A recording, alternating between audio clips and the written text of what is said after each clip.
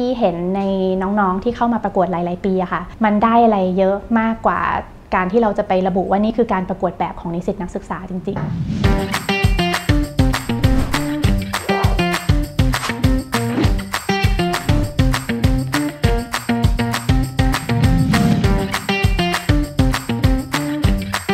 ก็ AYDA เป็นเป็นโครงการประกวดแบบสำหรับนิสิตนักศึกษานะคะ ซึ่งจะแยกเป็น 2 category ก็คือสถาปัตยกรรมกับตกแต่งภายใน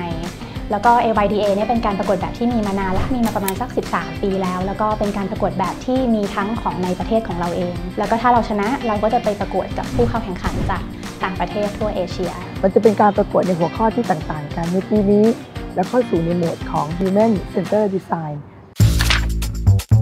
Human Center Design เนี่ยถ้าแปลตรงตัวค่ะก็คือการออกแบบที่เอามนุษย์มาเป็นจุดศูนย์กลาง ซึ่งจริงๆสำหรับพี่ค่ะ พี่มองว่ามันเป็นหัวใจของการออกแบบอยู่แล้ว การออกแบบต่างๆเนี่ยก็ควรที่จะต้องคำนึงถึงการอยู่ร่วมกัน อย่ามองถึงแต่แค่ตัวเองนะคะมันควรจะต้องมองถึงคนที่อยู่ร่วมกับเราด้วย แล้วการออกแบบอย่างของ AYDA เนี่ยคือเราเน้นเรื่องของ Green Design ด้วย ทีนี้พอเราเอาเรื่อง Human Center Design เข้ามาด้วยเนี่ยมันเหมือนกับเราเราออกแบบแล้วเรานึกถึงคนที่จะเข้าไปใช้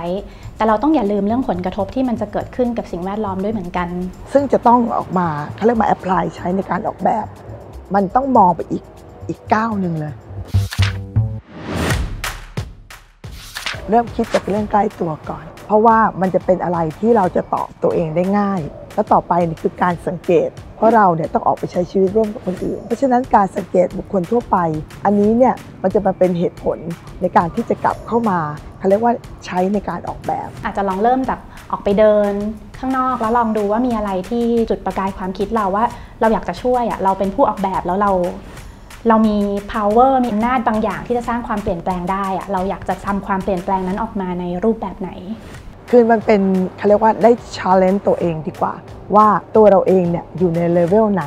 ของการออกแบบ จริงๆ ตัวพี่เองยังอิจฉาเลยเพราะว่าสมัยที่เราเป็นนักศึกษามันก็ไม่มีการประกวดแบบที่ใหญ่ แล้วก็เป็นระดับนานาชาติขนาดนี้นะคะ คือพี่มองว่ามันคือการเปิดโลกทัศน์เลย คือในฐานะที่เราเป็นนักออกแบบเราต้องมองโลกกว้างด้วยเนาะไม่ไม่ใช่แค่ลึกอย่างเดียวอะค่ะรางวัลที่ได้รางวัลที่ 1 ก็คือเป็นการเรียนคอร์สพิเศษที่ Graduate School of Design ที่ Harvard University ประเทศสหรัฐอเมริกาเป็นเวลา 6 สัปดาห์ แล้วคุณจะรู้ว่า 6 week ใน Harvard เนี่ย